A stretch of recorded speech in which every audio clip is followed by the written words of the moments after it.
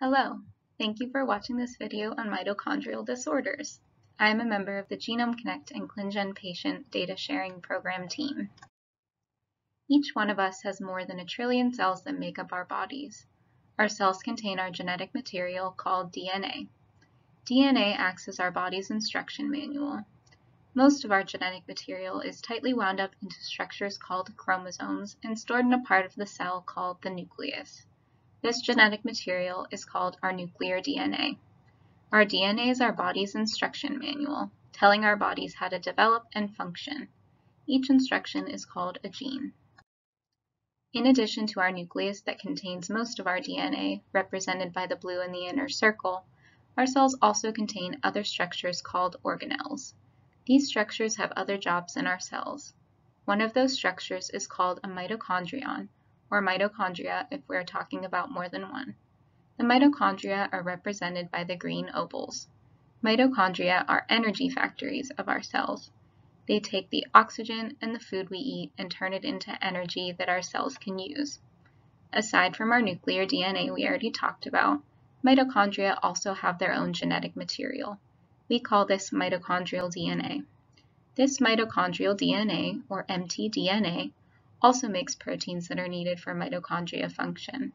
Some of our nuclear DNA codes for proteins that are important for our mitochondria. There are thousands of mitochondria in most of our cells, all creating the energy they need to function properly. When mitochondria do not make enough energy for our cells, it may impact one or several organs throughout the body, like the heart, brain, or muscles. We call this a mitochondrial disorder. Mitochondrial disorders can be present at birth or develop at any time in an individual's life. Mitochondrial disorders are often genetic, meaning they are a result of certain changes in our genetic material called variants that impact how the gene works in our body. It is estimated that one out of every 5,000 individuals has a genetic mitochondrial disorder, making mitochondrial disorders rare. There are two main ways that genetic variants can affect how our mitochondria work variants in the mitochondrial DNA, or variants in our nuclear DNA. First, we will talk more about how genetic variants in our mitochondrial DNA can cause mitochondrial disorders.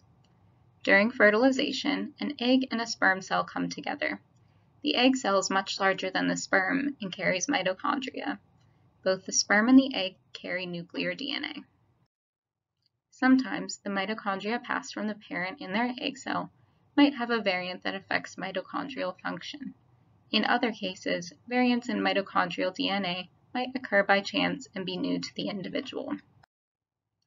Since each mitochondrion contains its own DNA, the number of mitochondria affected by a variant may vary.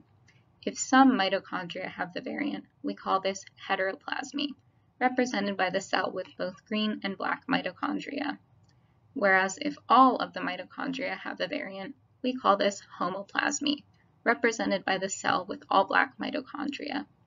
The number of mitochondria affected and the types of cells they are in can contribute to an individual's symptoms. In addition to variants in the mitochondrial DNA, sometimes variants in nuclear DNA can affect how mitochondrial proteins are made and how mitochondria work in the body. One important difference about nuclear DNA compared to mitochondrial DNA is that it is passed down from both parents. Variants in nuclear DNA can also occur by chance and be new to the individual. Mitochondria play an important role in our organs that require a lot of energy. Therefore, mitochondrial disorders can affect one or more systems in the body. While symptoms of mitochondrial disorders may vary, some common symptoms include neurological issues like seizures and strokes, developmental delays, and visual or hearing problems.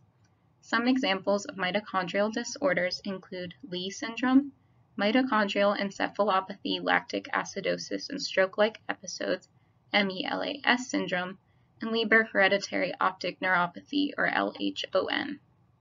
Thank you for watching our mitochondrial disorders video.